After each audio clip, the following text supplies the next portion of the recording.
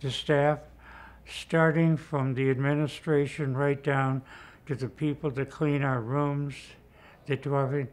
It's a staff that is really directed toward our well-being. And they're wonderful people. They always smile at you. Most of them know your name.